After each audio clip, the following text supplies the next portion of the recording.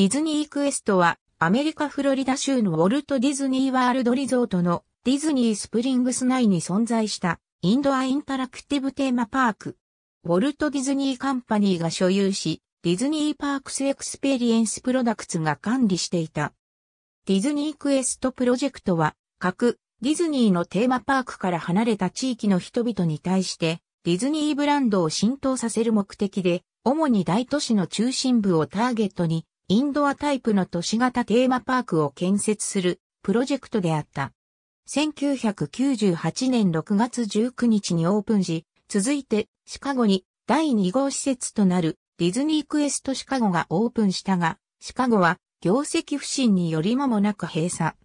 その後、フィラデルフィアやトロントなどにもオープン予定であったが、再三の見込みが立たず計画はいずれも中止となり、ディズニークエストプロジェクトそのものが中止されることとなった。2015年にディズニースプリングスの再開発の中で、ディズニークエストも大きな変化を遂げることになると発表した。そして2017年7月2日に施設自体がクローズした。跡地には NBA をテーマとした施設、NBA エクスペリエンスが開業した。ディズニークエストの主なアトラクションは以下の通り。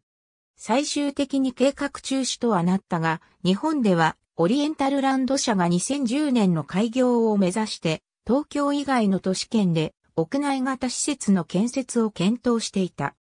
アルックのプレスリリースによれば、東京ディズニーリゾートへのアクセスが困難な地域におけるディズニーキャラクターへの接触度を向上させ、最終的にはリゾートへの顧客誘引へつなげることが目的とされており、ディズニークエストプロジェクトとその趣旨において類似性が見られた。ありがとうございます。